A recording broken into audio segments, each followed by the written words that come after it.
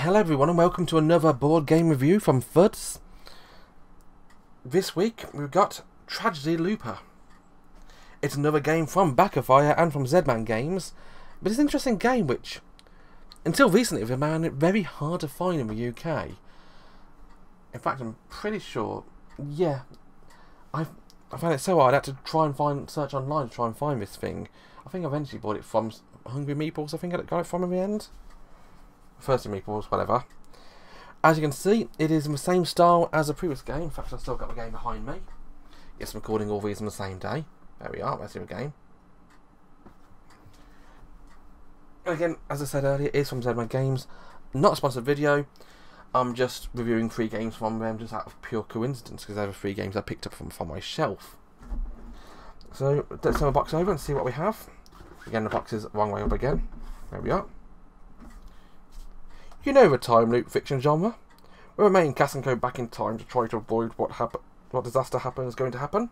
Well, now that power is yours. Tragedy Looper allows a team of protagonists to go back in time to stop tragedies from happening. A mastermind will try to unfold these tragedies while the protagonists have to find out what patterns are hidden, what evil plots are at work, and what roles the characters are before they run out of loops. In each loop, the protagonists try to gain as much information as possible in order to stop the tragedies from the next loop. Sometimes after help the characters, the protagonists can form a goodwill bonds with them. But if the characters become too paranoid, bad things can happen. If intrigue the plots come to fruition, the characters or even protagonists can perish. Tragedy Looper contains 10 scenarios of various plots and subplots.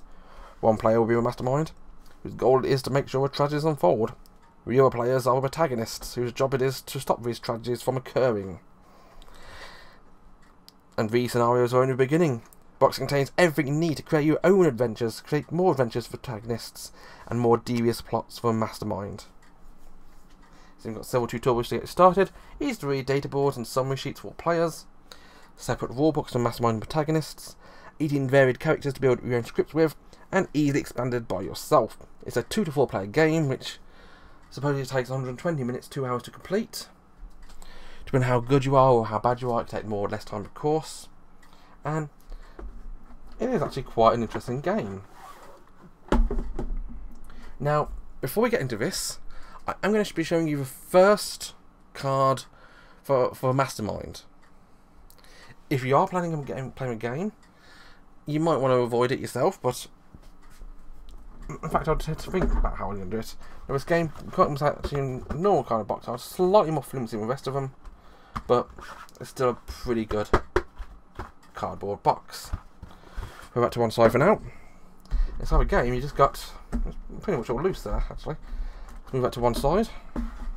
We have four locations. You got the shrine, which goes there. You got the hospital, which goes there. You tell where to go because it's got the little location things in the corner there. You've got the school, which goes there. And you've got the city, which goes there. Now these locations make up the cornerstone of the game.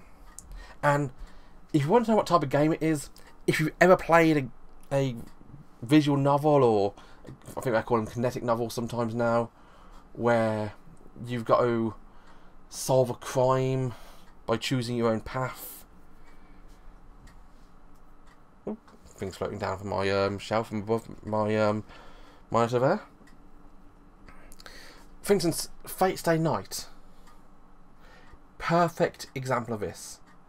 It's a choose your own adventure board game experience. Get out of the shadow.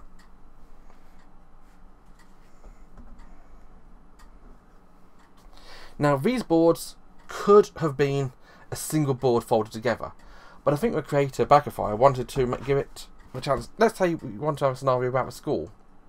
Yeah, throw that away and put a different board there. Maybe on a different location. Now, I'm not sure if that's been done yet, but it's a possibility.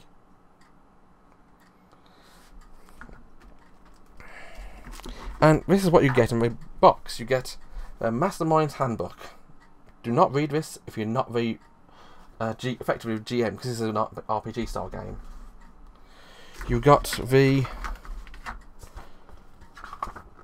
the basic steps things. You get one for each player. Got first steps and basic tragedy, plots and scenarios and roles. These I'll come to a bit later. You got this, which is a timer. Again, more about that in a bit. Throw that in the middle for now. You've got the player's handbook. This one's for players. Mastermind can read it as well because it gives you a basic outline of how you actually play the game. You get decks of cards. You get scripts cards and a leader card and extra cards for use for spe special scenarios. You get the um, player cards. Once you got one with diary, got one with time loop, loop I think. Get one with a clock. When you get the masterminds deck. Now these decks, these three decks are all exactly the same. each get a paranoia minus one, forbidden movement, goodwill plus two, movement left and right, goodwill plus one, paranoia plus one, movement up and down, forbidden intrigue, that's what they get. And all three players have the same effective deck, just with different logos on so I know it's their deck. Their Mastermind's deck is somewhat different. They get Movement Diagonal, Intrigue plus 2, Paranoia plus 1, Paranoia minus 1, Forbid Goodwill, Forbid Paranoia, Paranoia, Intrigue, Movement left and right, Movement up and down. And so, the mastermind of the players have their own deck of what they can do. You also have characters. You have the patient, a boy student, a nurse, class rep, police officer, shrine maiden, informant, office worker, girl student, doctor, a rich man's daughter, mystery boy, alien, recognise her from a previous game, a regardly being, a pop idol, journalist, a boss, and a henchman. Now those are also part of the cornerstone of the game. You've then got little tokens, you've got little goodwill tokens, which are your hearts. You've got paranoia tokens, which are little gloomy things.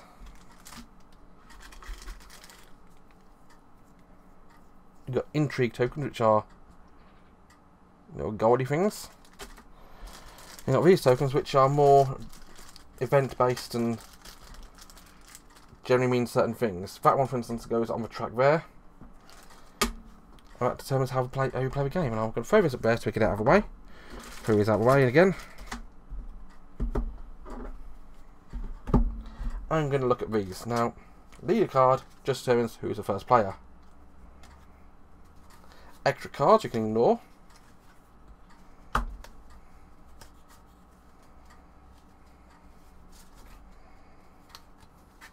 Then you get to a script card. Now I'm going to show you the script card the protagonist gets to see for the first one, the first steps. There we are. That's all I get to see. I think it's going to have trouble focusing in it. There we are. It's a four day loop.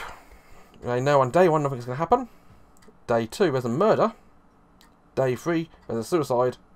And day four nothing happens but no special rules.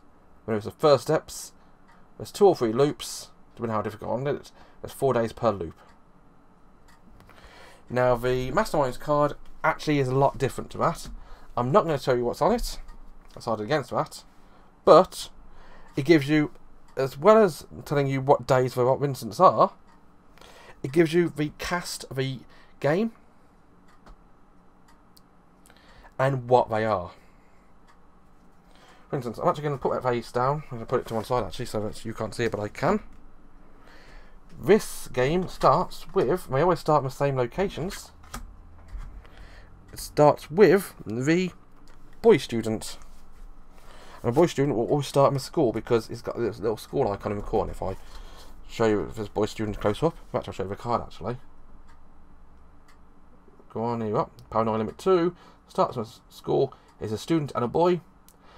And for 2 goodwill, remove 1 paranoia from any other student owner's location.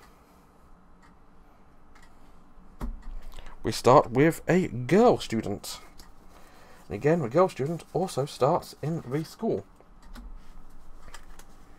We have a shrine maiden.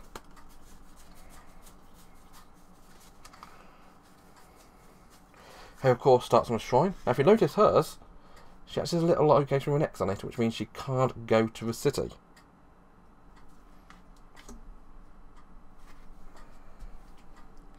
We have the police officer.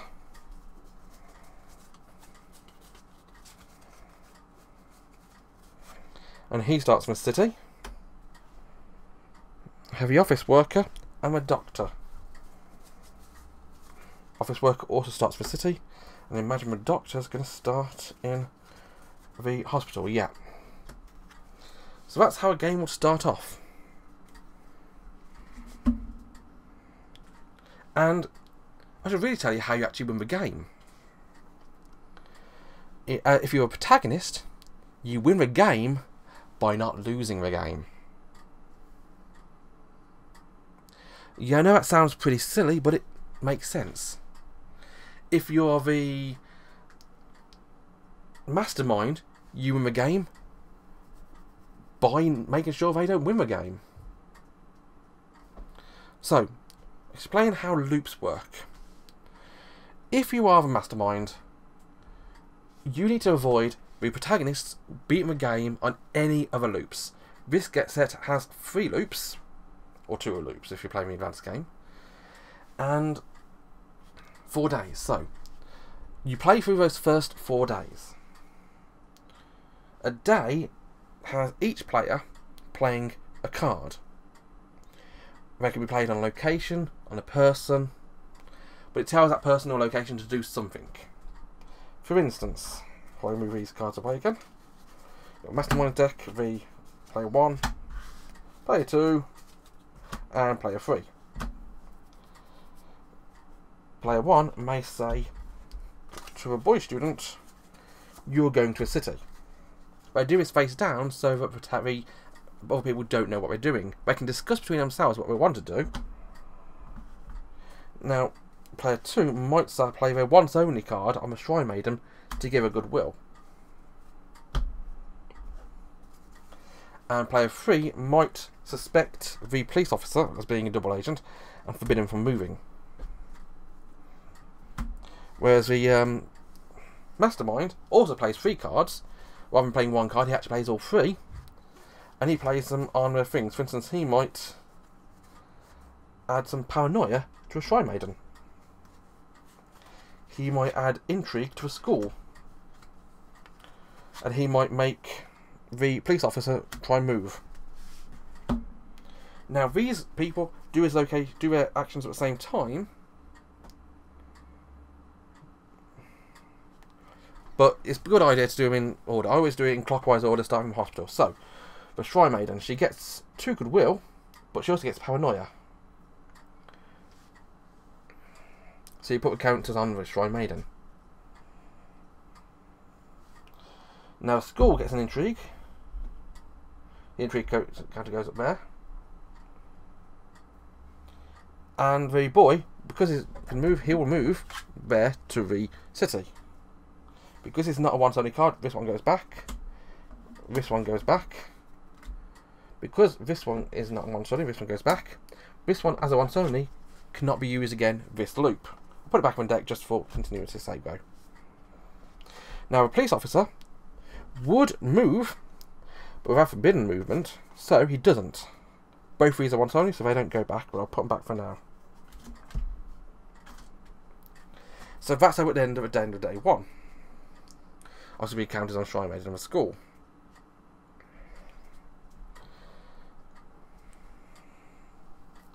And so each of these characters might have a certain role to play. If we get one of our little sheets there, if we look at our roles, you can have a key person, a killer, a brain, a cultist, a conspiracy theorist, a serial killer, a curmudgeon, or a friend. Certain roles can refuse goodwill. For instance, the killer, you can choose. The brain, you can choose. The cultist, you always refuse. And the curmudgeon, you can choose. However, not all roles are in all games. For instance, each each game has a plot and a subplot. Or if you're playing with advanced with normal game, you've got a plot and two subplots. And the plots determine how you can actually win the game. For instance, Murder Plan has one key person and one killer, and one brain. Light of Avenger only has a brain. A Place to Protect has a key person and a cultist.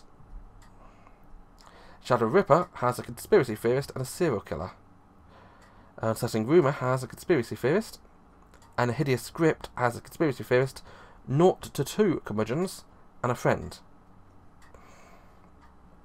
Now, the interesting thing is, if you have a serial killer, you know you've got a Shadow Ripper because there's only one serial killer. And a serial killer is quite a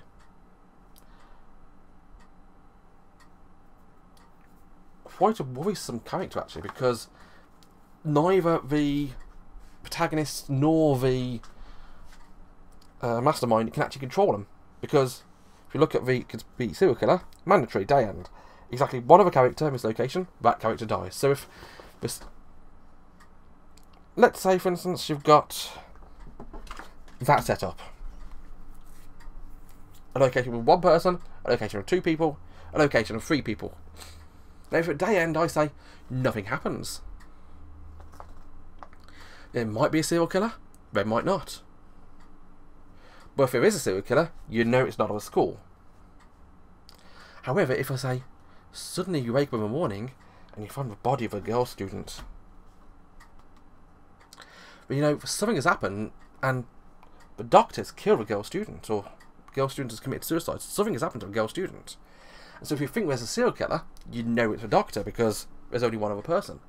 However, let's say if a police officer is a serial killer, the police officer is not going to kill somebody because there's two other people.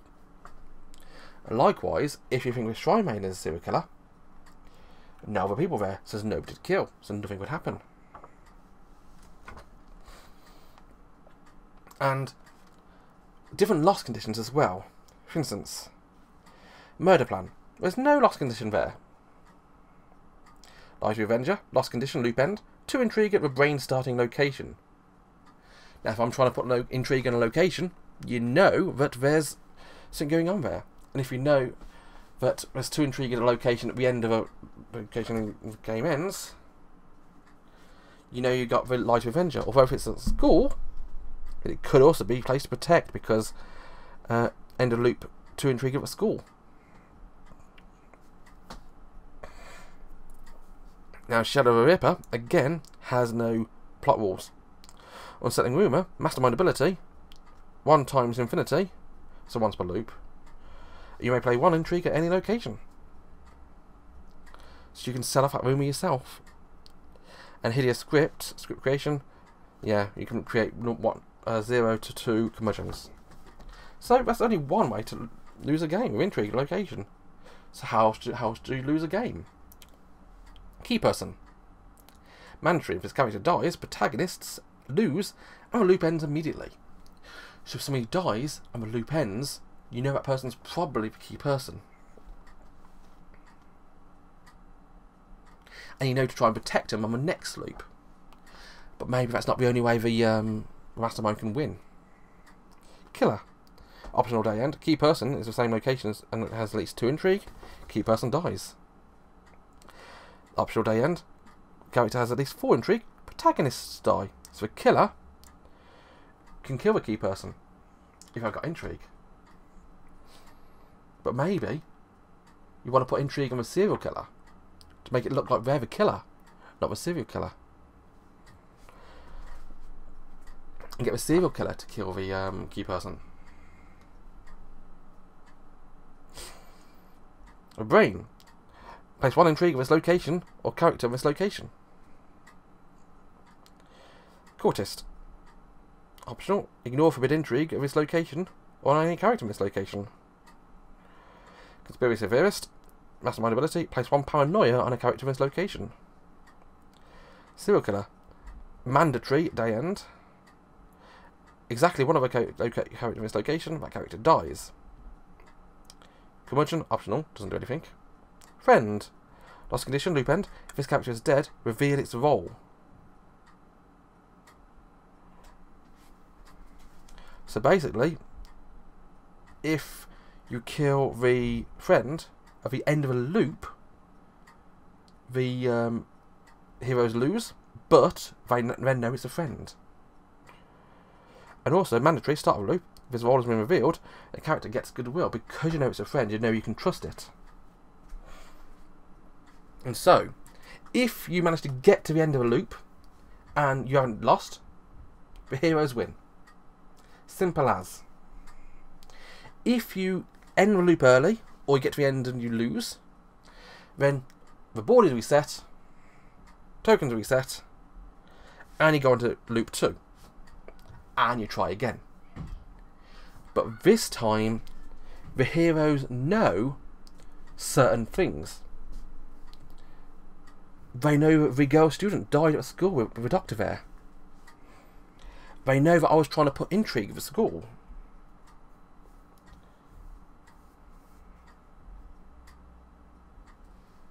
They know that I didn't want the police officer to move.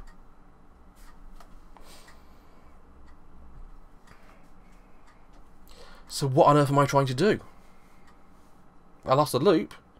Did they lose a loop because of the school? Did they lose the loop because the girl student was a friend? Or the key person? They don't know. Well, they have an idea. And the second loop, they've got more information to go on. But so does Mastermind. The Mastermind doesn't just have a single thread he can travel down. He might try being of, of putting him during the first loop, and we're trying a different tactic in the second loop. Or maybe we'll try and do the same thing again. Maybe he's got a different way of doing that.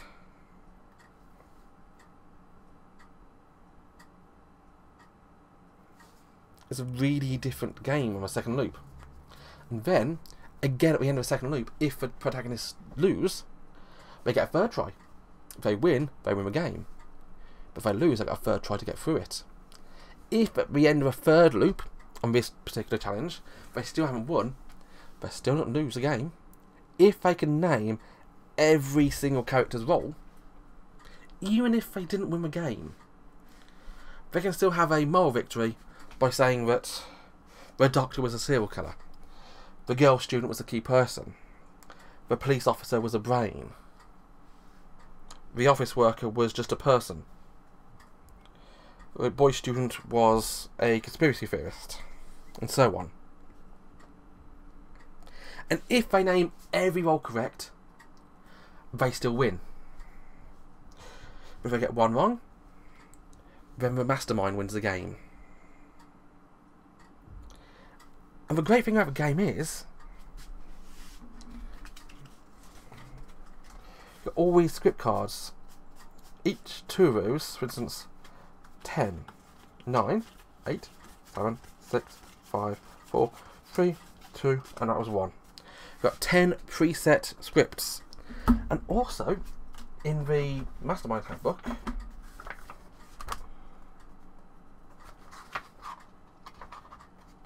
there is a script creation guide. It tells you how to create it, how to make it, how to determine how many loops, how, what cast to go with.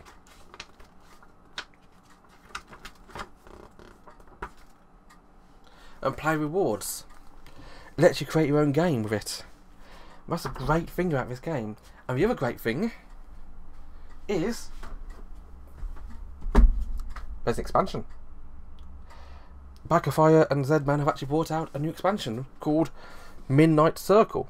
It's actually a combination of two separate expansions from the Japanese version. Now, I'm not going to actually show you too much about this because I've not actually played it myself. I've not played the expansion, but again, you got the Midnight Circle Mastermind Handbook. You got the Midnight Circle Player's Handbook. You got the new card, new paper for everybody. You get in here a little deck of cards with some new roles. Again, I'm going to move that one around so you don't see those. You got the scientist. You get the forensic specialist. You get the AI. And you get the illusion. See, that's the other character from the other game. And you got new script cards and protagonist cards. For instance, number one, Basic Tragedy, 4 to 5, 6 days per loop. It's got a murder, a butterfly effect, suicide, and hospital incident.